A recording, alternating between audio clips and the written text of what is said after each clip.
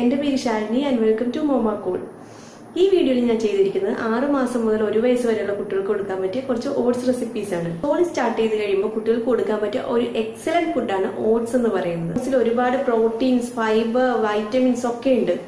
ഇനി ഇതിൽ ഒരുപാട് ഫൈബർ ഉള്ള കാരണം കുട്ടികൾക്ക് കോൺസ്റ്റിപ്പേഷൻ ഉണ്ടാവില്ല. അപ്പോൾ കോൺസ്റ്റിപ്പേഷൻ ഉള്ള കുട്ടികളുടെ ഡെയിലി ഡയറ്റിൽ ഓട്സ് ഉൾപ്പെടുത്തുന്നത് നല്ലതായിരിക്കും. അപ്പോൾ ഇന്നത്തെ വീഡിയോയിൽ ഞാൻ ചെയ്തിരിക്കുന്നത് എങ്ങനെ ഓട്സ് പൗഡർ ഉണ്ടാക്കാം അതുപോലെ ഈ ഓട്സ് പൗഡർ യൂസ് ചെയ്ത് മൂന്ന് വെറൈറ്റി ആയിട്ടുള്ള ഓട്സ് റെസിപ്പീസ് ഉണ്ടാക്കുന്നതാണ്. പിന്നെ ഞാൻ എല്ലാ വീഡിയോയിലും പറയുന്ന ഒരു കാര്യമാണ്.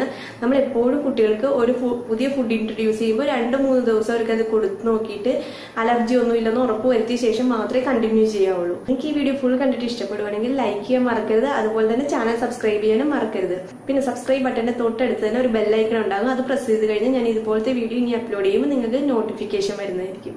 അപ്പൊ നമുക്ക് വീഡിയോ കാണാം. അപ്പൊ ആദ്യമായിട്ട് നമുക്ക് നോക്കാം ഇങ്ങനെ ഓട്സ് പൗഡർ ഉണ്ടാക്കുന്നതെന്ന്.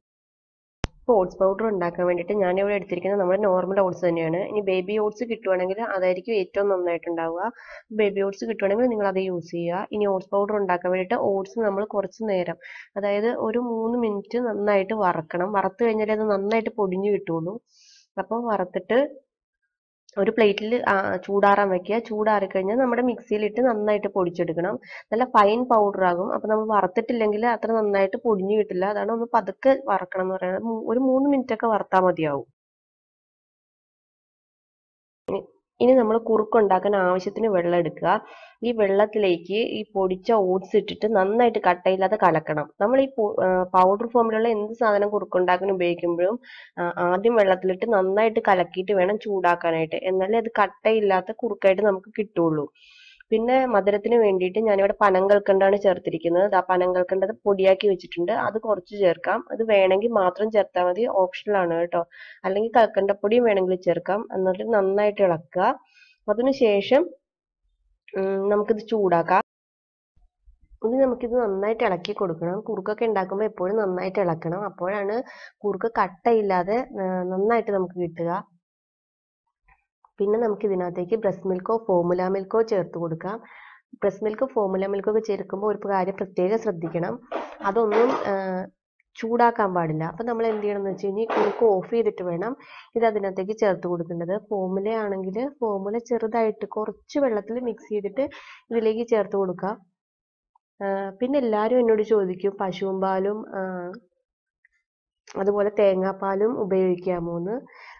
പശുവും പാലും തേങ്ങാപ്പാലും ഉപയോഗിക്കാം. പക്ഷെ അത് ഒരു വയസ്സിന് ശേഷം മാത്രമുള്ള കുട്ടികൾക്ക് ഉപയോഗിക്കാൻ പാടുള്ളൂ. ഇപ്പൊ നമ്മുടെ ഓട്സിന്റെ കുറുക്ക് റെഡി ആയിട്ടുണ്ട്. അപ്പൊ നിങ്ങളിത് കുട്ടികൾക്ക് ട്രൈ ചെയ്യുക. കുട്ടികൾക്ക് വളരെ ഇഷ്ടപ്പെടുന്ന ഒരു വിഭവമായിരിക്കും ഓട്സ് എന്ന് പറയുന്നത്. പിന്നെ അവരുടെ കോൺസ്റ്റിപ്പേഷൻ ഒക്കെ വളരെ നല്ലതാണ്. കാരണം ഓട്സിൽ വളരെയധികം ഫൈബർ അടങ്ങിയിട്ടുണ്ട്. അപ്പൊ എല്ലാവരും ട്രൈ ചെയ്യുക.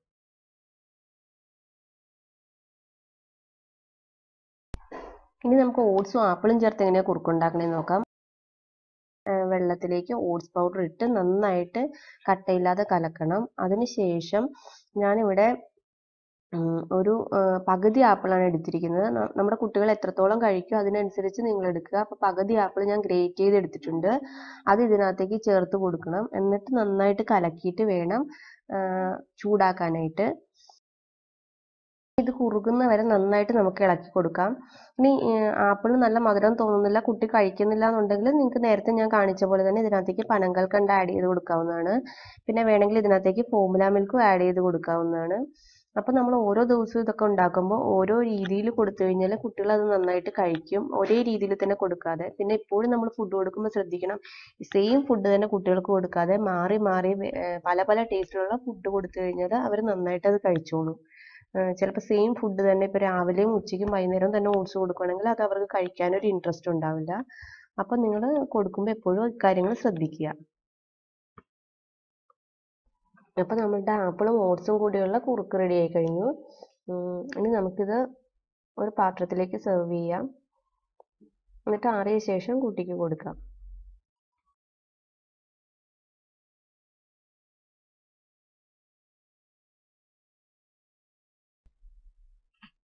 ഇനി നമുക്ക് ഓട്സും ബനാനയും കൂടി എങ്ങനെ കുറുക്കുണ്ടാക്കണേ നോക്കാം. അതിന് നമ്മൾ നേരത്തെ ചെയ്ത പോലെ തന്നെ വെള്ളത്തിലേക്ക് ഓട്സ് പൗഡർ ഇട്ടിട്ട് നന്നായിട്ട് കട്ടയില്ലാതെ ഇളക്കുക. അതിന് ശേഷം മാത്രമേ ചൂടാക്കാവുള്ളൂ. എന്നിട്ട് നന്നായിട്ട് ഇളക്കി കൊടുക്കുക. അപ്പോൾ നമുക്ക് ഈ ബനാന ചേർത്ത് ഉണ്ടാക്കുമ്പോഴത്തേക്ക് ബനാന ചൂടാക്കണമെന്നില്ല. വേണമെങ്കിൽ അവസാനം ഈ കുറുക്കിന്റെ കൂടെ നമുക്ക് ബനാന ഇട്ടൊന്ന് പതുക്കെ ചൂടാക്കാം. അല്ലെങ്കിൽ നമ്മൾ കുറുക്ക് ഓഫ് ചെയ്തിട്ട് ബനാന മാഷ് ചെയ്ത് അതിനകത്തേക്ക് ചേർത്താലും മതി.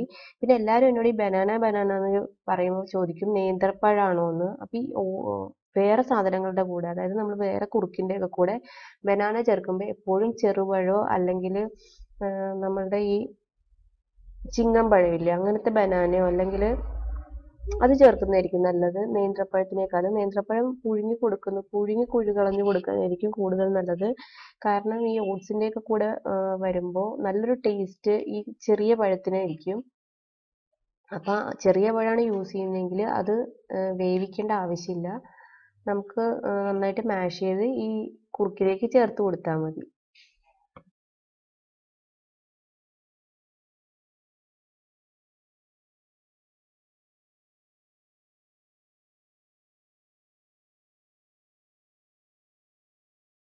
അപ്പോൾ ഈ ഓട്സ് റെസിപ്പീസ് ഒക്കെ നിങ്ങൾ കണ്ടില്ലേ? ഇത് നിങ്ങൾ ഇതുപോലെ വെറൈറ്റി ആയിട്ട് കുട്ടികൾക്ക് ഉണ്ടാക്കി നോക്കുക. അതുപോലെ പലതരം വെജിറ്റബിൾസ് ചേർത്ത് നമുക്ക് ഉണ്ടാക്കാം. ക്യാരറ്റ് ചേർത്ത് ഉണ്ടാക്കാം. പംകിൻ ചേർത്ത് ഉണ്ടാക്കാം. അതുപോലെ പല പല പല വെറൈറ്റി സാധനങ്ങൾ ചേർത്ത് ഉണ്ടാക്കാം. അപ്പോൾ നമ്മൾ ഇങ്ങനെ വെറൈറ്റി ആയിട്ടുള്ള ഫുഡ് അവർക്ക് കൊടുക്കുമ്പോൾ എന്താ ഗുണം എന്ന് പറഞ്ഞു കഴിഞ്ഞാൽ അവർക്ക് ഫുഡിനോടൊരു മടുപ്പം ഉണ്ടാവില്ല. ഇന്നൊരു ടേസ്റ്റിൽ ഉണ്ടാക്കി. അപ്പോൾ നിങ്ങൾ ഇന്ന് ഫോമുല മിൽക്ക് ചേർത്തിട്ടാണ് ഉണ്ടാക്കിയെങ്കിൽ നാളെ ഫോമുല മിൽക്ക് ചേർക്കാതെ ഉണ്ടാക്കി നോക്കുക. അപ്പോൾ ഇന്ന് നിങ്ങൾ ഓട്സും ബനാനയും കൂടി ചേർത്ത് ഉണ്ടാക്കിയെന്ന് വെച്ചോ നാളെ അതിന്റെ കൂട്ടത്തിൽ കുറച്ച് ഫോമുല മിൽക്കും കൂടി ആഡ് ചെയ്ത് നോക്കുക. അങ്ങനെ വെറൈറ്റി വെറൈറ്റി വെറൈറ്റി ഫുഡ് കൊടുക്കാൻ ട്രൈ ചെയ്യുക. ഇനി വേറൊരു കാര്യം പറയാനുള്ളത് കുട്ടികൾക്ക് ഇപ്പം ഇന്ന് ഓട്സ് കൊടുത്തു നാളെ ഓട്സ് തന്നെ കൊടുക്കരുത്. അതായത് ഇപ്പം നമ്മളൊരു ഫുഡ് കൊടുത്തു കഴിഞ്ഞാൽ മൂന്ന് നേരം അത് തന്നെ കൊടുക്കരുത്. പിന്നെ അടുപ്പിച്ച് അടുപ്പിച്ച് കൊടുക്കരുത്. ഡിഫറെന്റ് ഡിഫറെന്റ് ആയിട്ട് കൊടുക്കുക. അതായത് മൺഡേ കൊടുത്തു കഴിഞ്ഞാൽ വെനസ്ഡേ കൊടുക്കുക. അങ്ങനെ അങ്ങനെ കൊടുക്കുവാണെങ്കിൽ കുട്ടികൾക്ക് ഒരു ഫുഡ് തന്നെ കൊടുക്കുമ്പോഴും മടുപ്പുണ്ടാവില്ല അപ്പോൾ അവർക്ക് ഭാവിയിലാണെങ്കിലും ഇന്ന ഫുഡ് കഴിക്കില്ല. അല്ലെങ്കിൽ എന്തെങ്കിലും ഫുഡ് കൊടുക്കുമ്പോൾ അത് വേണ്ട. അങ്ങനെയുള്ളൊരു ക്യാരക്ടർ ഉണ്ടാവില്ല. അപ്പം നിങ്ങൾ ഫുഡ് ഉണ്ടാക്കുമ്പോഴും അതുപോലെ കുട്ടികൾക്ക് കൊടുക്കുമ്പോഴും ഒക്കെ ഇതൊക്കെ ഒന്ന് ശ്രദ്ധിച്ചാൽ നല്ലതായിരിക്കും. അപ്പോൾ ഇന്നത്തെ വീഡിയോ ഇത്രയേ ഉള്ളൂ. നിങ്ങൾക്ക് ഈ വീഡിയോ ഇഷ്ടപ്പെട്ടെങ്കിൽ തീർച്ചയായും ലൈക്ക് ചെയ്യുക അതുപോലെ തന്നെ ചാനൽ സബ്സ്ക്രൈബ് ചെയ്യുക. പിന്നെ നിങ്ങളുടെ അഭിപ്രായങ്ങളെല്ലാം ഈ കമന്റ് ബോക്സിൽ കമന്റ് ചെയ്യാവുന്നതാണ്. അപ്പോൾ അടുത്തൊരു വീഡിയോ ആയി കാണുന്നവരെ ബൈ ബൈ